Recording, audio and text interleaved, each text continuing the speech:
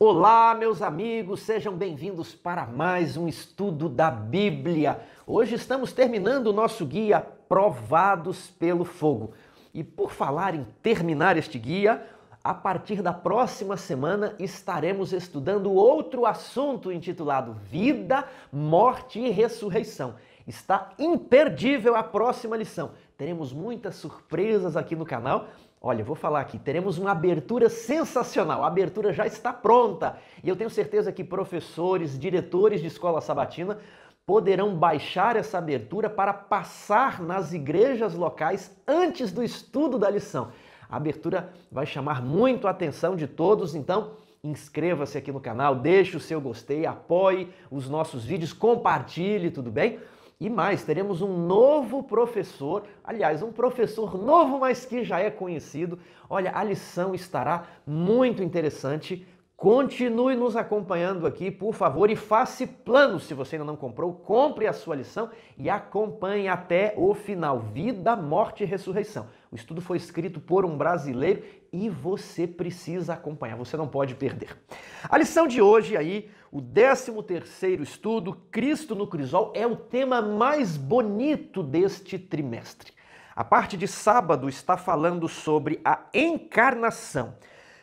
Ao Jesus vir a este mundo, ele criou laços entre o céu e a terra, laços que durarão por toda a eternidade. Em um dado momento, Paulo disse que pregaria apenas a Cristo e este crucificado. E o que significa isso? Muitas pessoas, né, às vezes reduzem o que é pregar Cristo e esse crucificado. Às vezes falam: "Ah, Jesus te ama e morreu na cruz". É muito mais que isso. Em primeiro lugar, você precisa demonstrar a elevada posição que Cristo ocupava no céu. Você precisa dizer que Jesus era Deus, ele estava com Deus, por meio dele todas as coisas foram criadas. Nada neste universo, sóis, luas, planetas, sistemas solares, estrelas, nada foi criado a não ser por meio de Cristo. Nele reside toda a plenitude da divindade. E esse ser tão excelente, tão exaltado, tão magnífico, tão glorioso, o Pai da eternidade, o Criador do tempo, esse ser, ele é humilhado até o pó.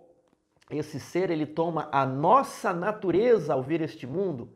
Ele, o Criador de Adão, agora ele entra dentro da descendência de Adão. Ao mesmo tempo que ele é o criador de Adão, ele também é um filho de Adão. Ele vem até este mundo, ele passou, ele é da descendência de Abraão, da descendência de Davi, segundo a carne, Romanos 1, verso 3. E ele vive como um de nós. E então ele recebe uma morte horrível, uma morte não causada por tortura física, mas ele recebe a ira de Deus. Então, ao você mostrar a exaltada posição de Cristo no céu e a sua terrível humilhação e depois a sua ascensão e a sua coroação. Isto que significa pregar a Cristo e este crucificado. E é esta mensagem que vai amolecer, sensibilizar os corações, vai constranger as pessoas diante do amor de Cristo. E eu gosto de ilustrar essa condescendência de Jesus ao vir a este mundo por meio da história de um cientista que, ao longo da vida, projetou uma máquina, construiu este enorme aparelho capaz de acabar com todos os problemas da humanidade, com a escassez de energia, com a escassez de alimento. E este mecanismo, esta máquina, resolveria toda a pobreza, toda a nossa dificuldade. Mas este aparelho jamais funcionaria a menos que o cientista entrasse dentro da máquina, fechasse a portinha e se trancasse para sempre, eternamente, dentro de sua própria criação. Foi exatamente isso que Jesus fez. Ele era Deus, mas ele não teve por usurpação viver a eternidade como Deus. Ele assume a natureza humana, a natureza que eu e você temos, e ele se tranca ali dentro e ele carregará essa natureza para sempre, para toda a eternidade. Ao fazer isso, ele se tornou o fiador da raça humana. Ele é o garantidor de que nós poderemos ter acesso às cortes celestiais. Veja bem, se um dia Cristo tiver de lançar mão da sua natureza humana lá no céu, nós também não poderemos mais permanecer no céu. Jesus, eh, nós nos céus teremos corpos perfeitos, glorificados, mas Jesus por todo sempre carregará as marcas nas mãos, nos pés, no lado e no seu rosto. Que coisa tremenda! Vamos prosseguir na nossa lição? A parte de domingo, os primeiros anos, pergunta 1, leia Lucas 2 e Mateus 2. O que há nesses versos que nos mostravam como Jesus vivia? Primeiramente, ele não nasceu em um palácio, ele não nasceu na classe média, ele nasceu em uma família pobre. Então, o seu meio de vida estava circundado por pobreza e simplicidade. Os pais ofereceram sacrifício menos exigente, não era o carneiro, né? não era um boi, um carneiro, ofereceram os pombinhos, as aves. Depois, os textos dizem que ele não foi reconhecido pelo seu próprio povo.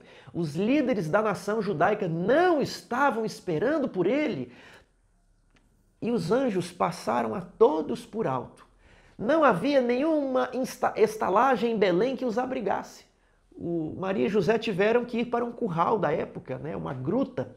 E ali, junto dos animais, quem sabe, Jesus nasceu. E os únicos que estavam atentos eram pobres pastores que estavam lá na madrugada, no meio do pasto com as ovelhas, conversando sobre o Messias vindouro, lendo os textos da Bíblia. Ninguém mais o esperava, apenas aqueles pobres pastores e também alguns estrangeiros filósofos do Oriente comumente chamados de reis magos, estudaram as profecias que um cetro procederia de Jacó, uma estrela procederia de Judá, e eles estudando aquelas profecias de Balaão, estudando as profecias de Daniel, descobriram o tempo e a estrela os guiou até Belém. Então, o seu povo não reconheceu, apenas alguns pobres e alguns estrangeiros estavam ali para honrá-lo. Foi honrado pelos ricos e pelos pobres. E depois, foi perseguido por um tirano usurpador do trono de Davi, usurpador do trono de Israel, que era devido a Cristo. Alguém injustamente se apodera do trono e persegue Jesus, mandando matar as crianças de Belém, e ele precisa fugir para o Egito. Esses foram os primeiros anos de Jesus. Veja agora João 1,46. Que elemento há nessa passagem que nos ajuda a entender o que o jovem Jesus enfrentou? Pode vir alguma coisa boa de Nazaré? Então, o contexto social lhe era totalmente desfavorável, eu respondi. Talvez nunca houvesse saído um professor decente daquela vila, da vila de Nazaré. Era aquela vila tinha um histórico ruim, de modo que ele não poderia dizer: "Olha, eu me formei por uma excelente universidade. Eu venho de uma família de renome. Eu tenho um histórico de rabis de acadêmicos, de universitários na minha família. Ele não tinha nada disso. Não havia nada que lhe recomendava, a não ser a própria pessoa e o próprio caráter, o olhar e a própria pureza. Assim foram seus primeiros anos. Segunda-feira, ele era desprezado e rejeitado. Verso, é, pergunta 3. Leia os versos a seguir, tendo em mente o fato de que Jesus é o Criador do céu e da terra e que veio para se oferecer como sacrifício pelos pecados do mundo todo. Como esses textos nos ajudam a entender os sofrimentos que Jesus enfrentou? Primeiro ponto, os milagres que ele fazia, né? muitos acreditavam nos milagres, mas muitos outros consideravam que eram milagres fakes, milagres falsos, ou que eram milagres produtos da feitiçaria né, resultados do poder de Satanás. Uma tremenda blasfêmia ao Rei do Universo, que se arriscou nessa empreitada para tentar resgatar aqueles que eram incrédulos, mesmo diante dos maiores milagres e maravilhas operados pelo poder de Deus. Depois, os membros da igreja onde ele cresceu, onde ele viveu durante 30 anos, não acreditaram nele, queriam matá-lo. Né? Quando Jesus é, lê lá o texto de Isaías e diz assim: Hoje se cumpriram estas palavras. E depois, Muitos talvez é, aplicarão este provérbio, né? Médico, cure a ti mesmo. Mas eu vos digo que veio salvação a Israel e aquelas pessoas rejeitaram. As pessoas ficaram incomodadas, elas ficaram iradas com a postura de Jesus naquela sinagoga e eles pegaram Jesus para lançar de um penhasco. Esse é o problema da incredulidade. Eles diziam: Nós sabemos quem é o seu pai, nós sabemos quem é a sua mãe, você é o bastardo, você é fruto das aventuras ilícitas de Maria, nós bem conhecemos como você nasceu. Que terrível humilhação! Mas Jesus saiu do meio deles e não deixou que eles o lançassem do penhasco, de alguma maneira sobrenatural, não é? E ele não pôde operar os milagres ali que ele operou na Galileia. Três, né, terceiro tópico que eu destaquei aqui, a liderança da igreja, da igreja que ele fundou, do templo do qual ele era o Senhor. A liderança da igreja pegou em pedras para apedrejá-lo. Ele então foi desprezado e o mais rejeitado dos homens. Foi isso que Jesus enfrentou, incredulidade. E hoje nós precisamos tomar cuidado para não interpretar a Bíblia para não ler o espírito de profecia, sim, os escritos de Ellen White, que são nada mais, nada menos que as palavras de Jesus, desse mesmo Jesus, dadas à igreja por meio dos profetas, chamado ali em Apocalipse de o testemunho de Jesus, Apocalipse 12, 17 e Apocalipse 19, 10. Então, os escritos de Ellen White são as palavras de Jesus. Então, meu amigo, nós não podemos ler esses escritos e ler a Bíblia da mesma forma que os judeus do tempo de Jesus né, leram os sinais dos tempos e não desejaram interpretá-los. Eles rejeitaram a Jesus, eles não tiveram fé, nem mesmo diante dos milagres. Mas na parábola está dizendo o seguinte: ainda que um morto ressuscitasse, isso não os convenceria. Eles têm a lei e os profetas, eles têm Moisés e os profetas, ouvi-os. Então, meu querido irmão, você tem a Bíblia e os escritos de Ellen White, que você possa ouvi-los, que você não seja incrédulo. Talvez algum testemunho bateu de frente com alguma coisa que você acaricie. E essa é a nossa dificuldade.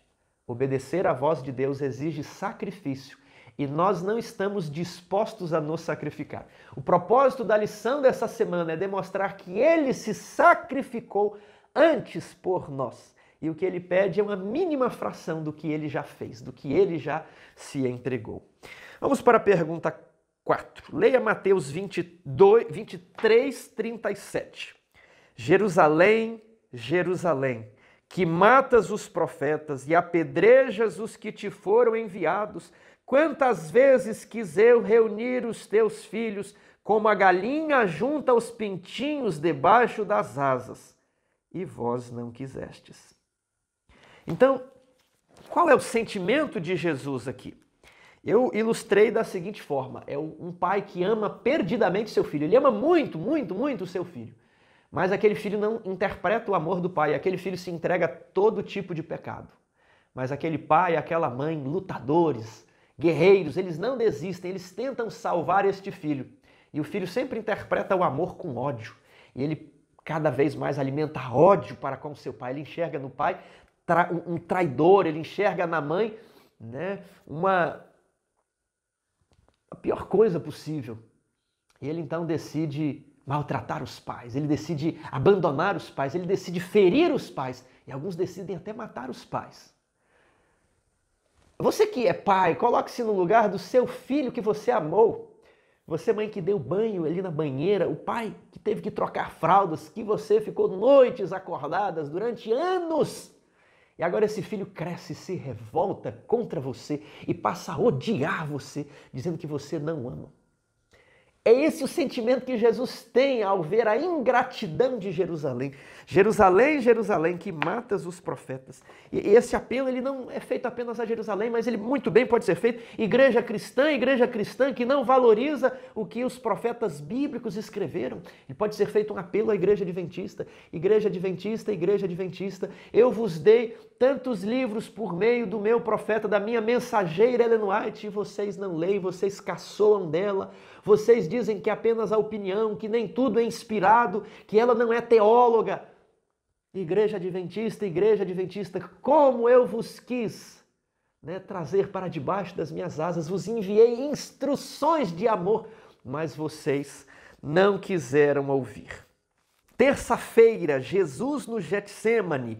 O que é que Jesus foi fazer no Getsemane? Ele foi orar. O Filho de Deus conseguiu obter vitórias a vida inteira porque ele orava, porque ele buscava o poder todas as manhãs, todas as noites e às vezes a madrugada toda.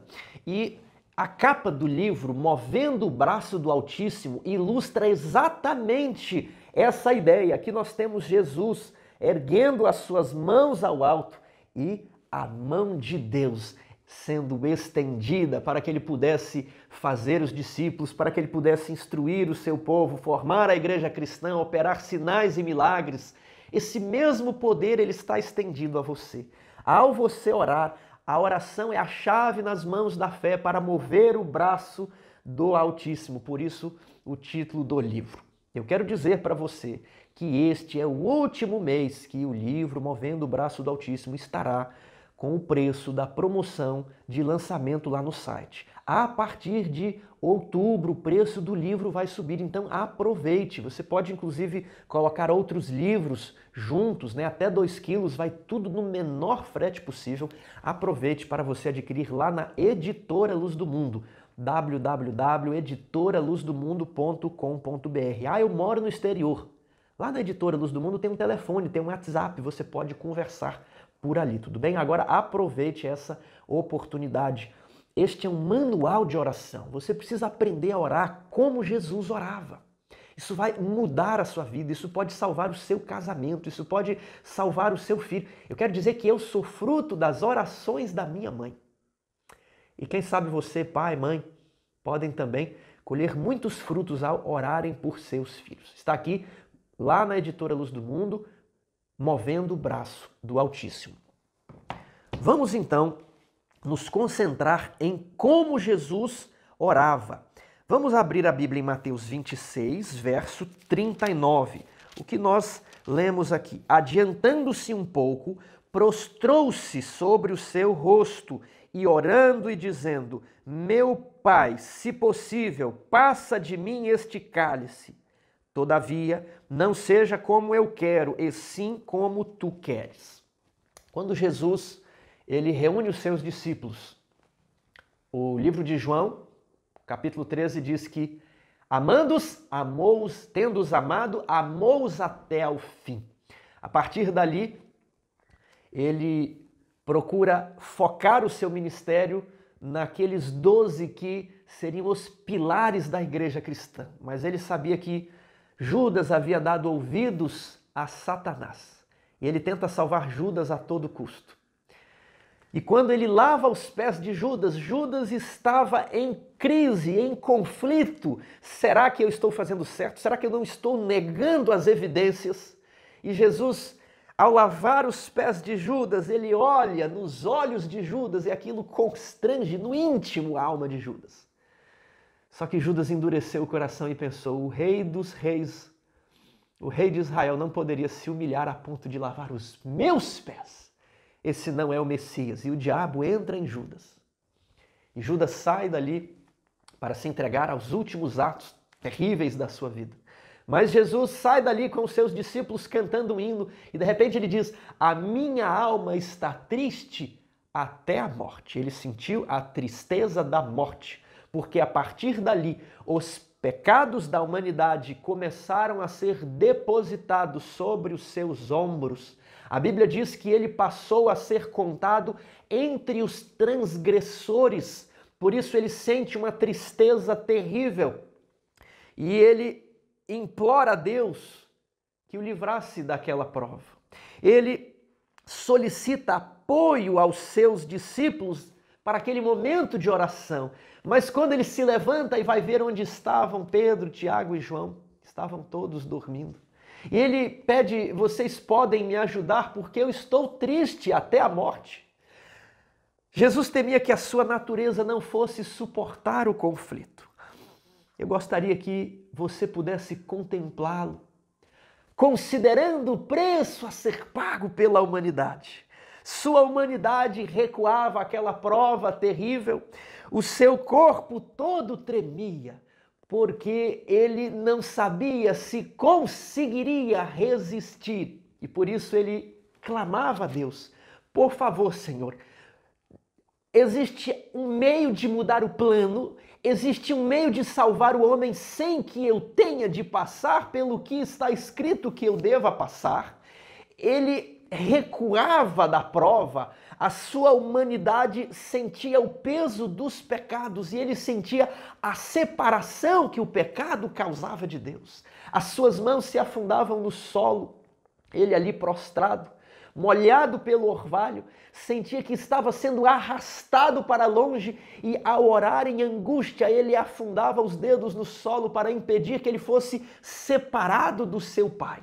Durante toda a sua vida, Jesus andou na luz da glória da presença de Deus. Mas agora parece que essa luz lhe era retirada e ele não conseguia ver nada para além dos portais do sepulcro ele não conseguia ver a ressurreição, ele não conseguia ver a sua vitória sobre a cruz. Tudo isso estava nebuloso diante dos seus olhos. Satanás estava ao seu lado dizendo: Você foi um filho bastardo, rejeitado pela sua própria nação. O povo a quem você ama, o povo que professa adorá-lo no templo rejeitou. Os seus discípulos não oram com você, todos vão fugir, você ficará só. Você se arriscou muito, Jesus. O Pai jamais o receberá de volta. Você jamais poderá retornar às cortes celestiais. Você está condenado a ficar aqui no planeta Terra juntamente comigo. Você é um perdedor. E Jesus orava: Deus meu, Deus meu, se possível, afasta de mim este cálice. Sabe o que havia no cálice? No cálice havia a ira de Deus. A ira de Deus contra os pecados. Quais pecados? Os meus, os seus pecados, aqueles que você cometeu desde a sua mocidade, aqueles que você cometeu semana passada, aquelas palavras, aqueles pensamentos. Mas eu quero dizer que a ira por esses pecados não vai recair sobre você, porque ela recaiu sobre Jesus. Ele temia receber a ira de Deus, mas ele consente, porque ele orava: faça-se a tua vontade, meu Pai. E Deus não tinha mais nada a fazer pela humanidade. Tudo que Deus pôde fazer, ele fez dando a Jesus. Se a humanidade precisasse de algo mais, Deus o Pai seria pego de surpresa e estaria com as mãos vazias, pois ao dar Cristo à humanidade, ele deu tudo o que era possível oferecer.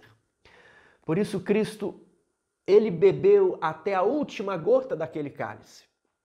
E ele então recebe a ira de Deus que os perdidos terão de encarar no dia da segunda ressurreição, no dia do lago do fogo. Mas eu quero dizer que você, por causa disso, você é aceita por Deus no amado. E você precisa ter essa fé de que você é aceita por meio de Cristo e de que os seus pecados foram pagos e que Cristo comunica a você a justiça imputada não pelo que você fez, não pela sua obediência, mas porque em Cristo você é considerada, você é considerado filho de Deus. E por meio de Cristo, Deus o ama como ele amou a Cristo. O Deus crucificado, quarta-feira.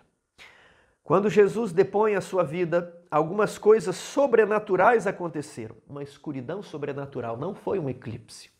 Também houve um grande terremoto.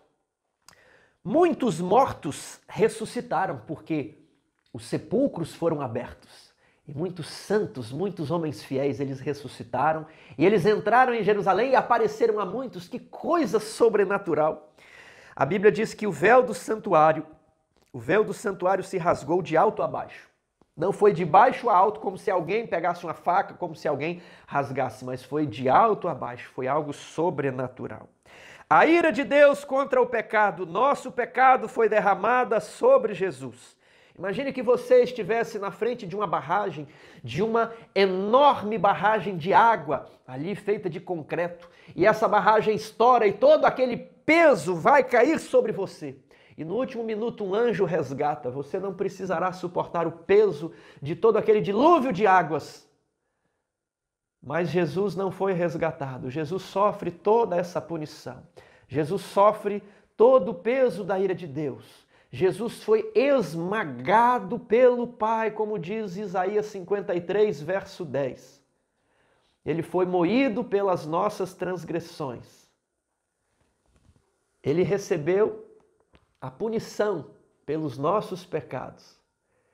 E pelas suas pisaduras nós somos curados. Aquilo que os perdidos terão de experimentar na segunda morte, ele experimenta no Calvário. Ele experimenta no Getsemane e na cruz. A agonia da morte. Jesus ficou tão debilitado no Getsemane, ele estava completamente sem forças, que um anjo foi enviado do céu para lhe comunicar força, para lhe comunicar energia, para que ele conseguisse se levantar, ser preso, passar por toda aquela série de torturas e, e morrer, porque ele ficou esgotado ao receber a ira de Deus no jardim do Getsemane.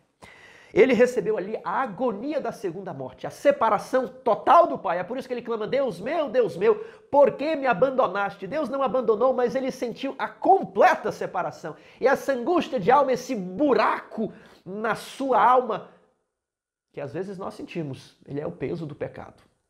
E Jesus não quer que você sinta isso, porque ele já sentiu. Mas se você não aceitar a Cristo e não viver em aliança com ele, na segunda morte você terá de encarar essa angústia.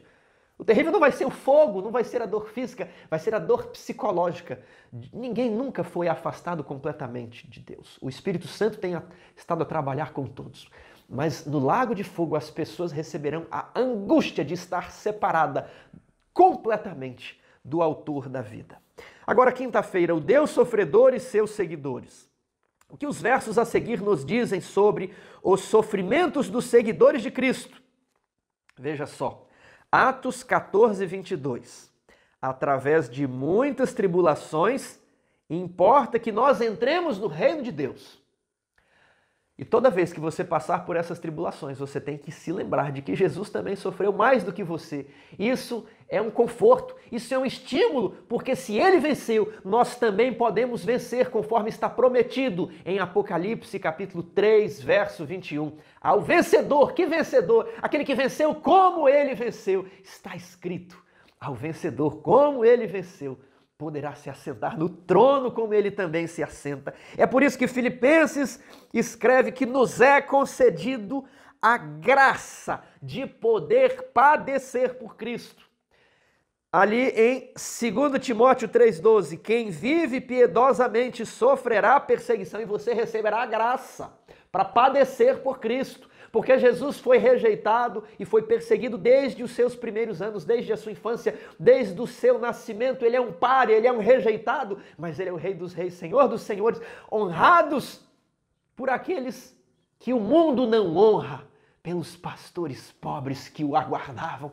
Para aqueles pastores, os anjos, o céu se rasgou e os anjos cantaram. Paz na terra aos homens de boa vontade porque eles não se consideraram que pertenciam a este planeta, que aqui deviam fazer morada. Os seguidores de Jesus se consideram forasteiros neste mundo, peregrinos em terra estranha, sabendo que Cristo foi preparar-lhes morada no céu, por isso eles padecem, por isso eles são rejeitados, por isso eles não são ricos em bens deste mundo porque sabem que aquele que era rico se fez pobre para que nós que somos pobres fôssemos enriquecidos por causa dele. Aquele que era justo tomou parte dos nossos pecados para que nós, por causa do seu sofrimento, pudéssemos ser justificados. Esses pensamentos, eles nos tornam sem fala, engasgados, emudecidos, ao pensarmos que ele se trancou para sempre dentro da sua própria criação.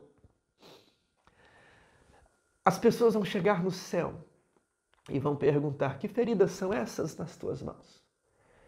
E ele vai dizer que são feridas com que fui ferido, não por meus inimigos, não por estranhos, são feridas com que fui ferido na casa de amigos meus. Foi ferido pela igreja judaica, foi ferido pela igreja cristã.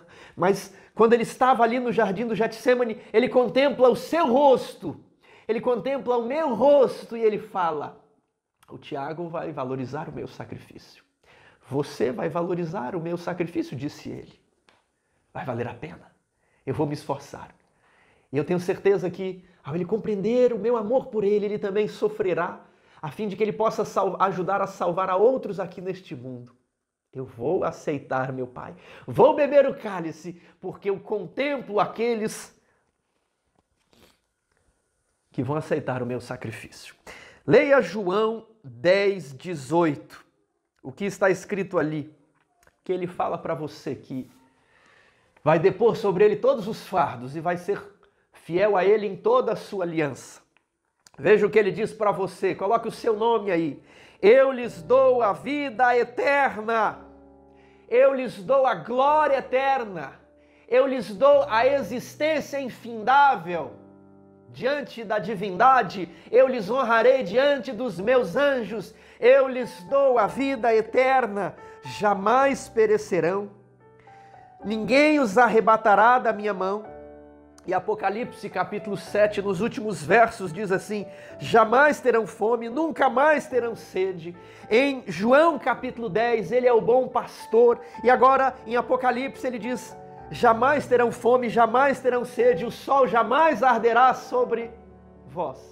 Porque o cordeiro que está sentado sobre o trono os apacentará. Não está dito aqui que é o pastor que está sobre o trono é descrito que é um cordeiro, é um cordeiro que apacenta os demais cordeiros, é uma ovelha que apacenta as demais ovelhas, porque ele assumiu a nossa natureza, porque ele passou pela pobreza, pela rejeição, ele viveu numa palhocinha, ele assumiu a casa quando o pai morreu, ficou ali trabalhando com a madeira. Durante 30 anos, ele poderia ter frequentado as melhores universidades, ele poderia ter vivido nos palácios, ele, ele poderia ter revelado segredos da ciência com os quais os homens até hoje estariam entusiasmados, mas ele ficou 30 anos em Nazaré. E depois, a sua luz irradiou o mundo inteiro ele é o que pisou onde nós pisamos, ele é o que calçou os nossos sapatos. Em tudo ele se fez semelhante a nós e por isso ele é poderoso para nos consolar e para interceder por nós. Porque ele não é apenas o pastor que está de longe, ele é a ovelha, o cordeiro, como nós que está no trono os apacentará. Todas as vezes que você estiver desanimado, eu gostaria que você se lembrasse desse texto. Está lá no livro Testemunhos para a Igreja, volume 1, páginas 81 e 82. Este é o caminho da renúncia.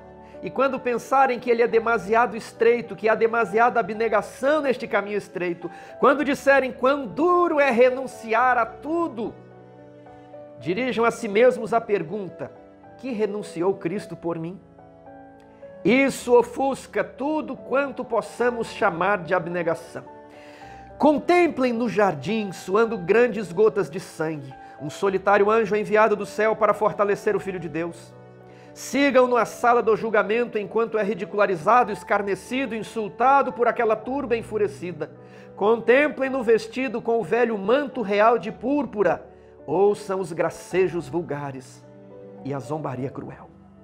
Vejam-nos a colocarem naquela fronte a coroa de espinhos, batendo-lhe depois com a cana, fazendo com que os espinhos se lhe enterrem nas fontes, o sangue a correr daquela fronte santa. Ouçam aquela turba assassina clamando ansiosamente pelo sangue do Filho de Deus. Ele é entregue em suas mãos. e conduzem dali o nobre sofredor, pálido, fraco, desfalecido, ao lugar de sua crucifixão.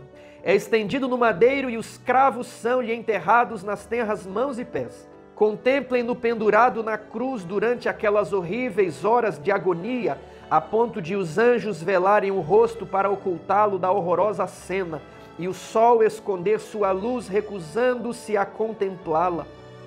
Pensem nessas coisas e então perguntem: é o caminho demasiado estreito? É o crisol demasiado quente? É o vale da sombra da morte demasiadamente perigoso? Não, não. Em Cristo há esperança para vencer, há esperança de vida eterna. Que Ele vos abençoe e possa vos receber nas régias mansões celestiais.